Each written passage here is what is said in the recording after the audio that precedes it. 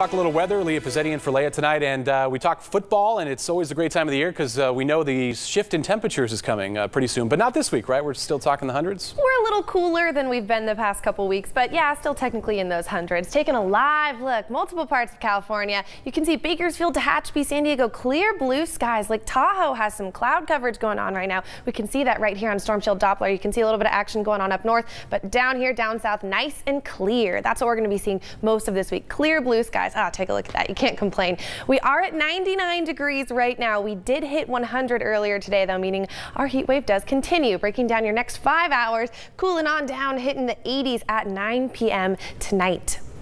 And taking a look at your highs for tomorrow, pretty similar to what we felt today. We're in those upper 90s, lower 100s range for the valley. Bakersfield 100 degrees, as I said. Wasco and McFarland both at 98 degrees, along with Taft. And in our mountain communities, Pine Mountain Club's looking at 79 degrees for tomorrow. Frazier Park 82, Tehachapi 87 degrees, Lake Isabella 94 degrees for tomorrow. And in our desert communities, right, same thing as the valley. We're looking at those upper 90s, lower 100s for tomorrow with a little bit of a breeze. Breaking down your day for tomorrow, as I said, we're at 90 99 degrees right now, pretty similar to what we're going to be feeling in the afternoon, peaking at 100 for tomorrow. And our air quality will be moderate, a little bit better than what we've been seeing. We're having pretty good air quality.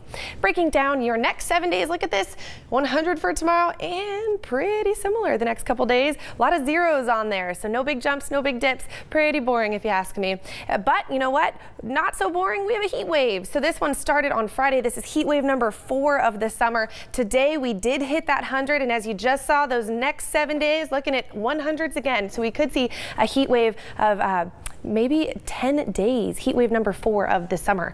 Kern River Valley is looking at 94 degrees for tomorrow in those upper 90s through the week. Tehachapi will see 87 in those upper 80s for most of the week. Frazier Park in those lower 80s as well. So pretty clear, nothing too crazy, no big winds, no storms or anything that we're looking out for. Should be a good week. Coast through August, hopefully without uh, some in those extreme temperatures. So we'll just keep it here. That'd be nice. Yeah. All right, Lee, thanks for that. Neighbors saving a little dog.